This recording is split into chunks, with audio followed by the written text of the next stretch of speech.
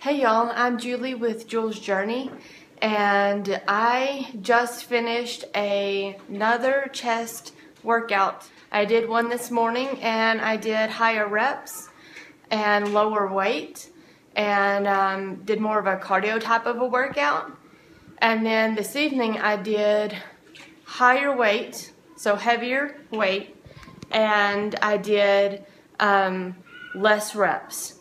So it was of a mass workout.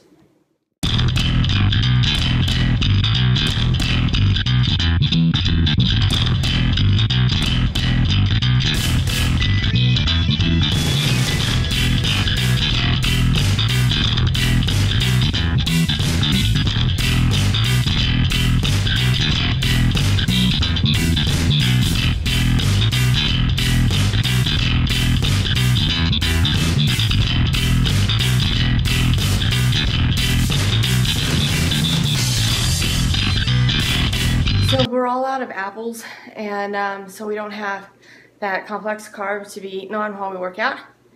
And I was going downhill really quickly at the beginning. So I went and got, hold on, hold on. Do you hear the package?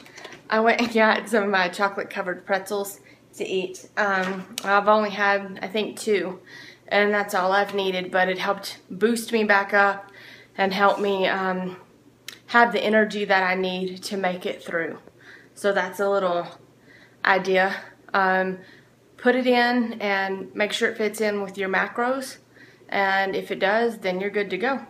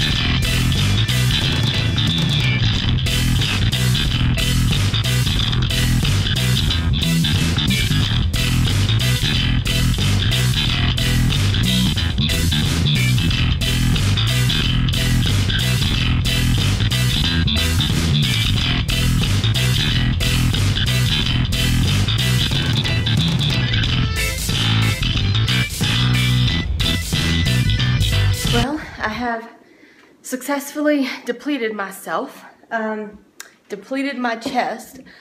I can't really get anything more out of it. Um, pretty much everything I'm trying to do at this point is just failure right at the beginning. So I'm going to call it quits now. My goal was to fail by 10, so I did not want to do any more than 10 reps on anything that I did have at least uh, probably about five reps. Some things I only got like four reps out. And in the end, when I got to my push-ups off the barbell, I was at like two and then failure and then I was failure. So that's okay. You're trying to wear yourself out so you hit failure pretty quickly, pretty easily by the time you get to the end.